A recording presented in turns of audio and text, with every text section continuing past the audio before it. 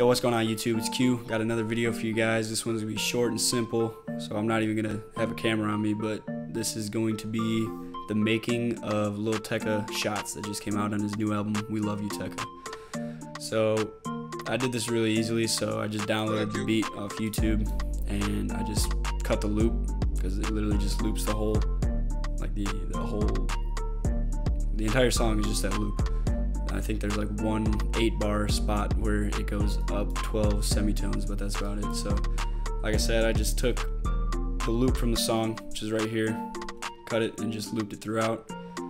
Then for this part right here, we got a clap. It's actually kind of a weird pattern. You got the 108 BPM and it doesn't hit in its normal spots. It's kind of got like that bouncy feel to it. So it's like, it goes like this. Here, I'll put the metronome on so you get an idea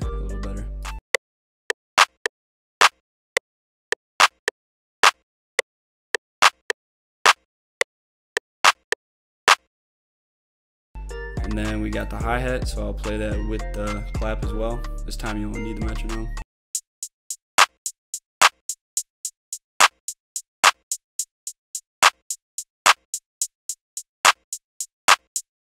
And then, so for the hi-hat, it's really simple. It's just two-step, but there's a little velocity difference in there. Gives it like a little bit more bounce. And then we got this perc.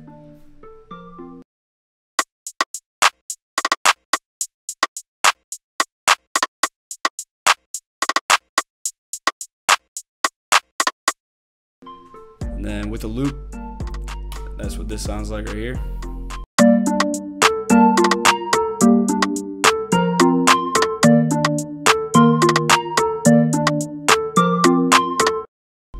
Alright, and then all we got left is the 808 and the kick. The 808 is actually a really interesting pattern. So this is what that sounds like.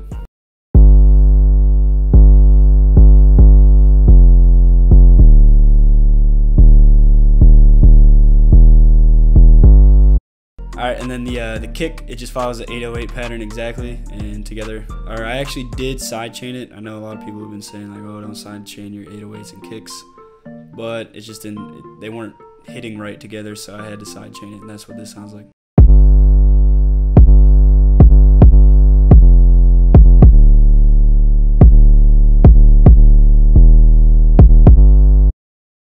And then with all the drums together, sounds like this.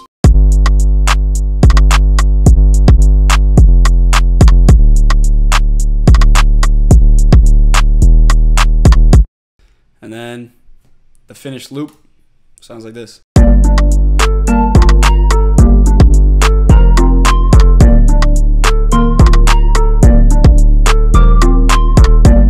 And then that's pretty much it. Um, there is a spot, there's a few spots where the drums cut out, just add a little bit of suspense right here and right here and right here.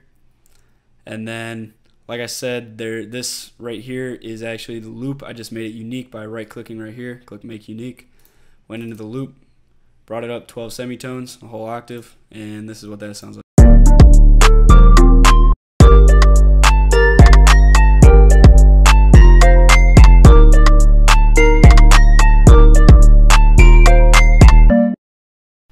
So uh, yeah, pretty simple beat. Like literally, the melody just loops throughout and the drums are pretty easy. Remade this in probably like 10 minutes. I will have the FLP available for you guys to download and also the instrumental. So if you guys enjoyed this video, go ahead follow me on Instagram, link in the description. Uh, check out my BeatStars. There's a few things on there you guys might like.